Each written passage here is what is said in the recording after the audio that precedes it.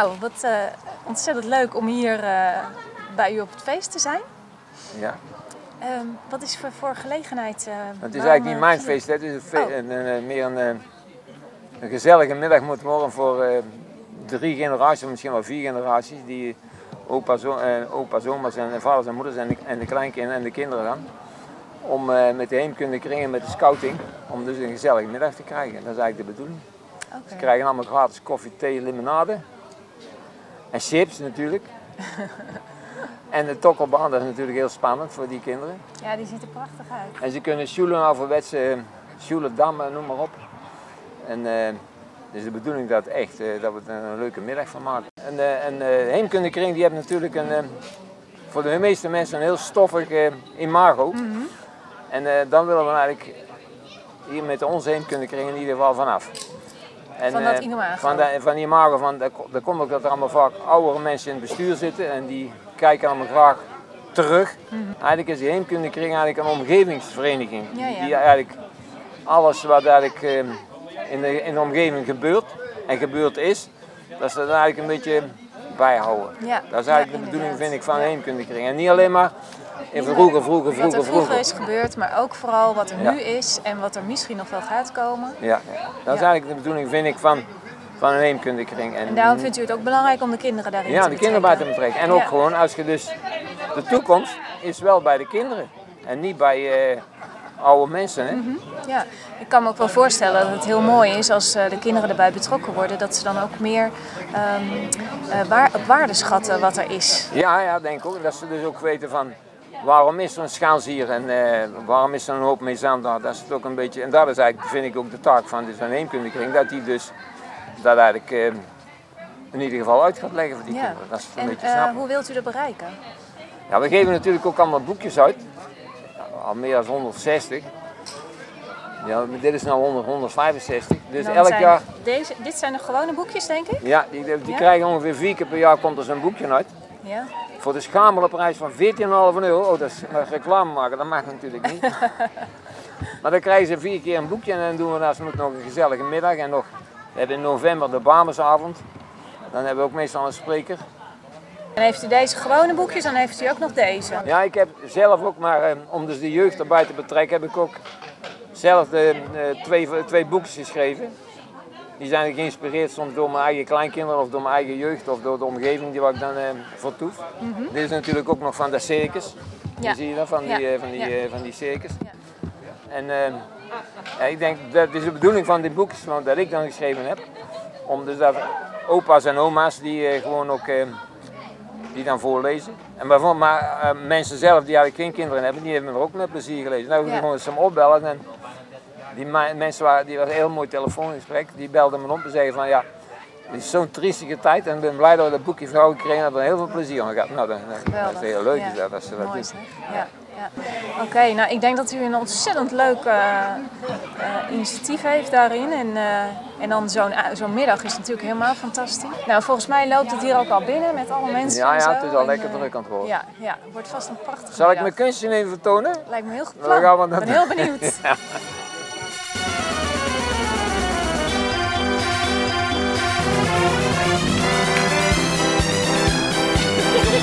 Laat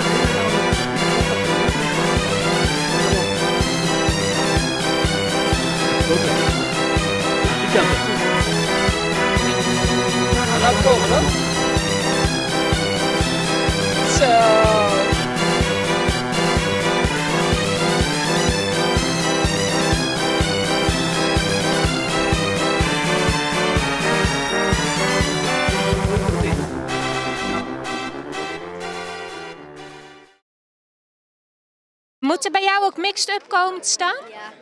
Ja, En eh, waarom is dat dan? dat is onze handbalvereniging. Ah, nee, dat snap ik het. En wat wil jij worden? Weet je het nog niet? Ik heb een paar hele mooie vlinders gezien. Wat vind jij mooi? Hartje. Een hartje. Oh, dat is wel heel erg leuk. Ja. Wat ben je aan het maken?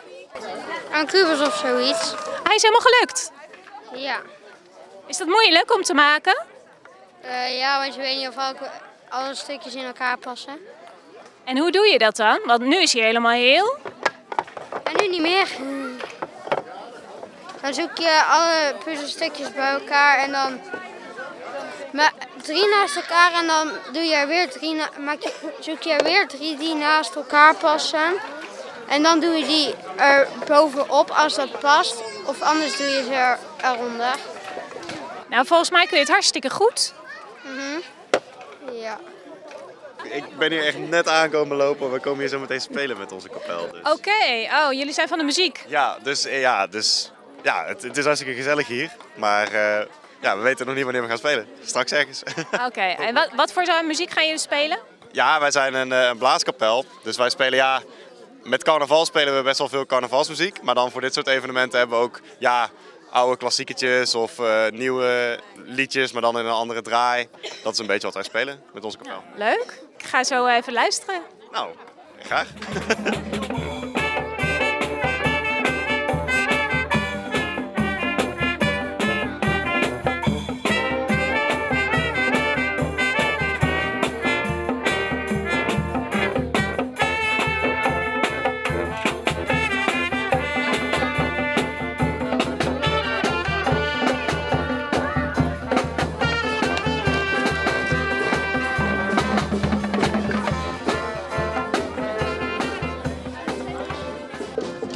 mooi vliegtuig. Heb je die van thuis meegenomen?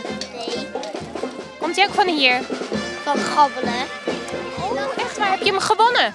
Ja. Mooi, hè? En wat doet hij dan precies? Als je aan een touw trekt, gaat hij rijden. Aha, kan hij ook op de grond rijden? Ja. Laten we zien hier zo. Hij doet het goed, zeg. Zo, wat knap, zeg. Eh, ja. Nou, je doet net alsof het heel makkelijk is. Eh, hij wiebelt niet heel erg. Nee? Hoe kan dat dan? Eh, het, is, het is niet een rubberen bal. Oh. Hij kan niet wegrollen. Nee. Wat zijn jullie voor moois aan het maken? Oh, wat leuk zeg. En hoe doe je dat dan? Tekenen op de stenen. En dan? Allemaal lijntjes trekken. En dan de kleurtjes van een lieveheersbeestje. Ja. Maak jij ook een lieveheersbeestje? Ja. En wat maak jij? Ik eh, weet het nog niet. Gewoon mooie kleurtjes. Wat ben je aan het doen? Schaken?